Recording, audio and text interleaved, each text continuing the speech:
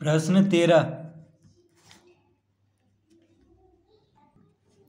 एक गाय आठ दशमलव चार मीटर लंबी रस्सी द्वारा एक अस्थिर खूंटा से बंधी है। बताएँ कि अधिक से अधिक कितने क्षेत्रफल की घास वह चर सकती है?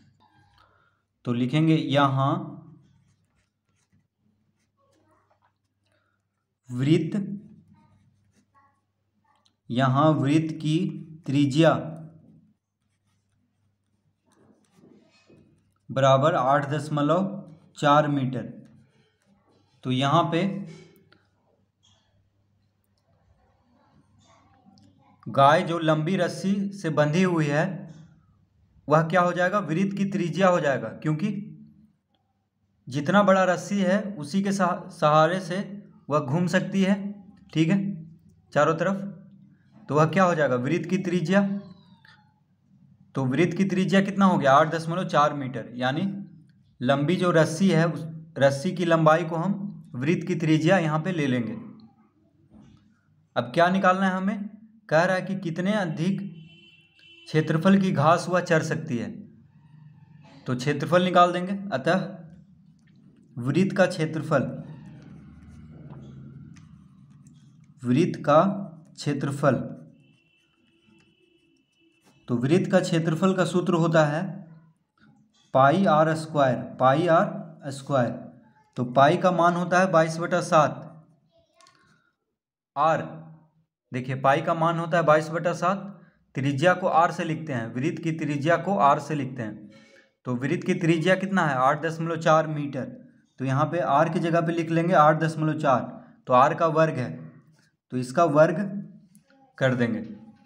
तो हो जाएगा बाईस बटा सात गुना आठ दशमलव चार गुना आठ दशमलव चार। तो इसको गुना कर लेंगे। तो बाईस गुना आठ दशमलव चार गुना आठ दशमलव चार आ जाएगा एक हज़ार पाँच सौ बावन।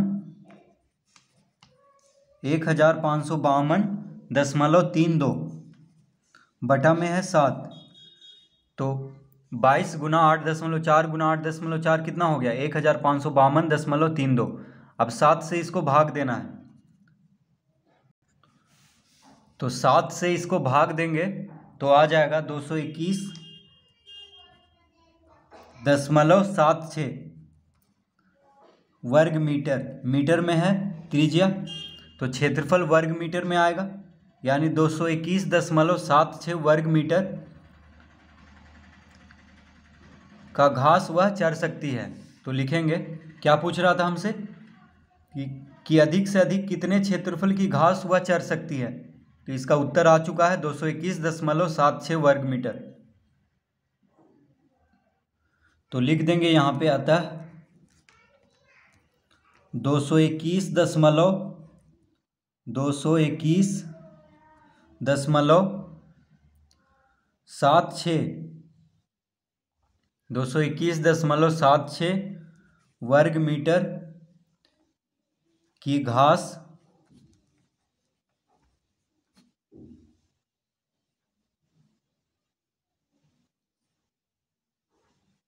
वह चढ़ सकती है।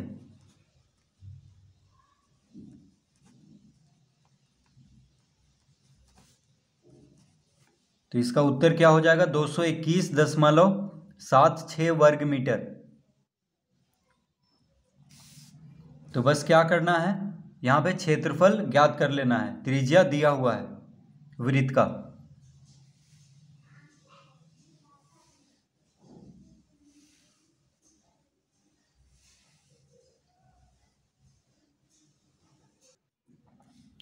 प्रश्न चौदह। एक घोड़ा को कितनी लंबी रस्सी से बांधा जाए कि वह तीन हज़ार आठ सौ पचास वर्ग मीटर ज़मीन के घास को चर सके। तो लिखेंगे यहाँ यहाँ वृत्त का क्षेत्रफल। यहाँ वृत्त का क्षेत्रफल कितना दिया हुआ है? तीन हज़ार आठ सौ पचास वर्ग मीटर। तो क्या कह रहा है? कि एक घोड़ा को कितनी लंबी रस्सी से बांधा जाए कि वह तीन हज़ार आठ सौ पचास वर्ग मीटर ज़मीन के घास को चर सके। तो देखिए, क्षेत्रफल दिया हुआ है। यहाँ वृत्त का क्षेत्रफल तो तीन हज़ार आठ सौ पचास वर्ग मीटर क्या है? वृत्त का क्षेत्रफल दिया हुआ है। तो क्या पूछ रहा है हमसे? कि कितनी लंबी रस्सी से उसको बांधा जाए? यानी त्रिज्या पूछ रहा है। ठीक है? तो वृत्त का क्षेत्रफल दिया हुआ है तो वृत्त का क्षेत्रफल का सूत्र होता है पाई आर स्क्वायर। तो पाई आर स्क्वायर बराबर लिख लेंगे तीन हज़ार आठ सौ पचास वर्ग मीटर, तीन हज़ार आठ सौ पचास वर्ग मीटर। तो पाई का मान होता है बाईस बटा सात। आर स्क्वायर को आर स्क्वायर ही रहने देंगे। पाई का मान बाईस बटा सात होता है, आर हो गया त्रिज्या। त्रिज्या को आर से लिखते हैं वृत्त की त्रिज्या को आर से लिखते हैं।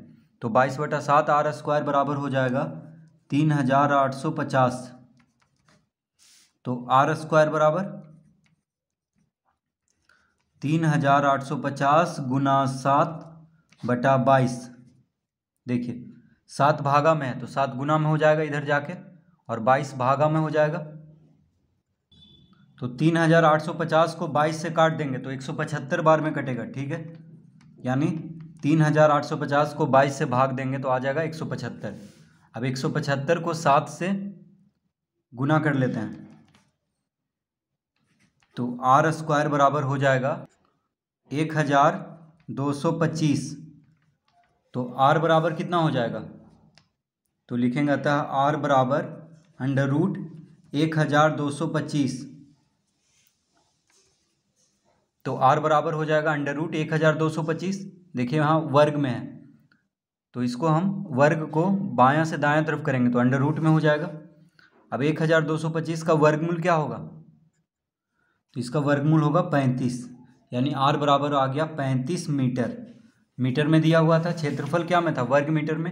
तो त्रिज्या मीटर में होगा, यानी आर बराबर आ गया पैंतीस मीटर। तो क्या पूछ रहा था हमसे?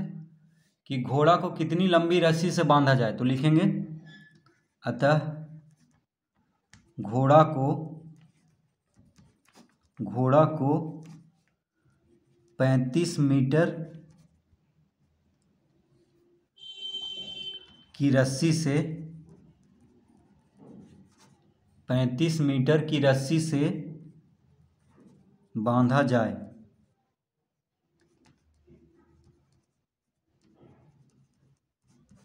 तो इसका उत्तर होगा पैंतीस मीटर। यानी वृत्त का जो त्रिज्या होगा वही उस रस्सी की लंबाई होगा, जिससे घोड़ा को बांधा जाएगा। तो इसमें क्षेत्रफल दिया हुआ है, त्रिज्या ज्ञात कर लेना है।